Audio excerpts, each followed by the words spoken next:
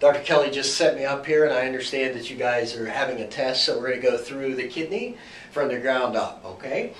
So the first thing is blood comes in through the afferent arteriole, hits the glomerulus, and then goes out the efferent arteriole. So there are a few things that cause actions at the afferent, afferent uh, to, at the afferent arteriole. The first thing that happens is that either you vasoconstrict or you vasodilate. And basically, what happens is there are some uh, molecules that cause vasoconstriction and some phenomenons that cause vasodilation. For example, you all know that vasoconstriction is occurs if you give a prostaglandin inhibitor, such as uh, Motrin or any other NSAID. So prostaglandin itself is a vasodilator. On the other hand, a vasoconstrictive agent would be something such as angiotensin II. So when you get volume depleted, what happens is angiotensin II works at the level of the arteriole to vasoconstrict so that you preserve water and salt to establish your intravascular volume. Angiotensin II, as you know, is down the pathway from both uh, renin, from the renin system, and we're going to talk about that later. Prostaglandin is a, is a molecule which causes vasodilation. When you vasodilate the afferent arteriole, what you effectively do is you get more blood that comes into Bowman's capsule, which is right here, and you can see my great drawing of the of the uh, glomerulus here. Stuff gets filtered and then it gets dumped into the lumen of the tubule. So first thing that happens is afferent arteriole, filtration at the glomerulus, and stuff that gets filtered is urea, uh, electrolytes, water. So keep in mind when you're talking about filtration, the larger the molecule, in size, the harder it is to filter. So it filters much less than a smaller molecule. Same thing's concerned, same thing's true. The glomerular membrane tends to be negatively charged, so positively charged ions tend to uh, get filtered at a greater rate than smaller molecules. I mean, I'm sorry, than negatively charged molecules. So a positively charged molecule gets attracted to the membrane and goes through. The larger the molecule is, the harder it is to get through the porous membrane of the, of the glomerular membrane. For example, phosphate, divalent, uh, negatively charged ion actually has a much harder time getting filtered by the kidney than a positively charged ion such as a small positively charged ion such as sodium or potassium. Urea, which is neutral ion, or I should say a neutral molecule, gets freely filtered because it's small in size and then you dump it in your urine, provided that your glomerular filtration looks great. So that handles at the level of the glomerulus. When we go down to the proximal tubule, this is the proletariat of the kidney. And what happens at the proximal tubule is that most items get, most everything gets filtered. Sodium, potassium, chloride, that all gets filtered here. It gets filtered throughout the rest of the glomerulus too, and thus I'm not going to go over those uh, handling at this portion because it has the whole tubule, the whole tubule still available to reabsorb sodium and potassium and chloride as well as water. However, there are some things that are exclusively handled at the proximal tubular level, and those include phosphates. So phosphates get totally reabsorbed at the proximal tubule. Uh, glucose does. So glucose and phosphates both do as well as most amino acids. And the way I remember amino acids is coal. We're going to come back to that. 90, 85 to 90% of your bicarbonate gets filtered at the proximal tubule, as well as your citrate. So all of these items are exclusively reabsorbed by the proximal tubule.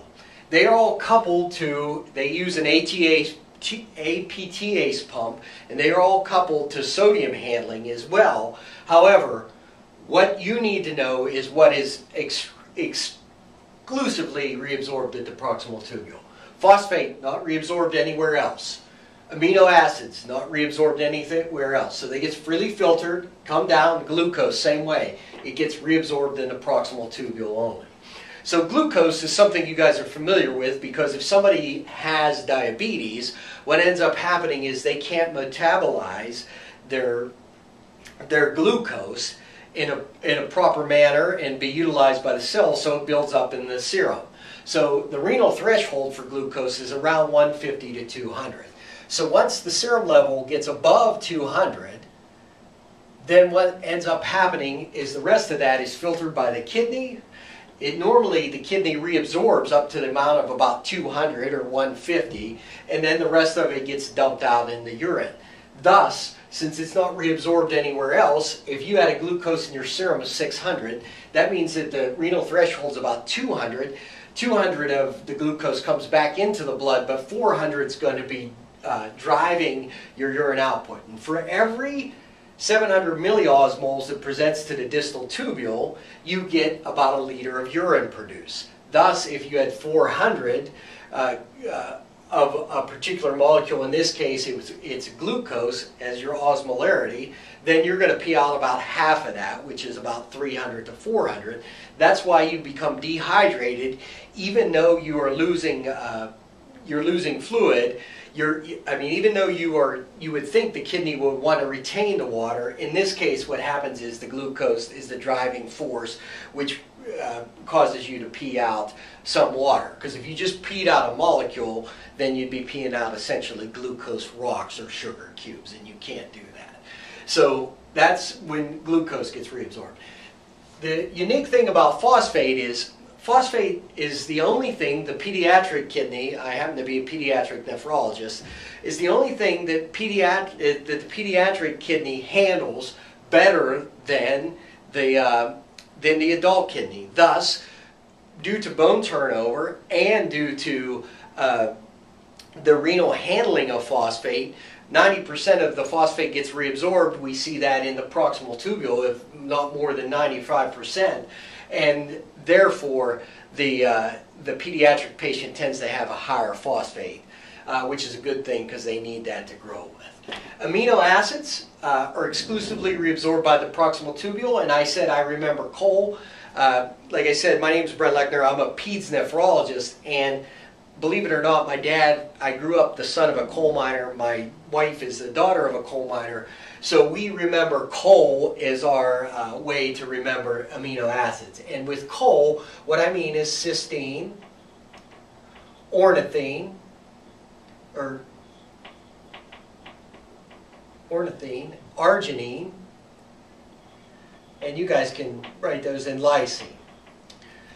The other famous acid that gets exclusively reabsorbed here is uric acid.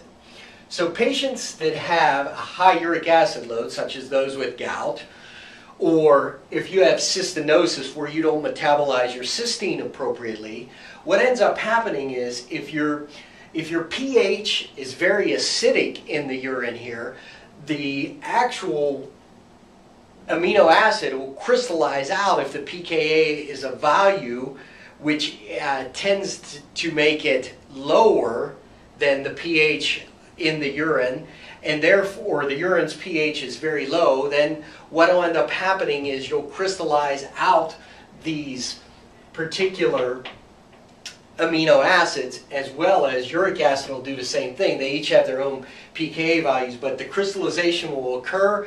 What will end up happening is the cells of the proximal tubule swell and you'll go into renal failure from that.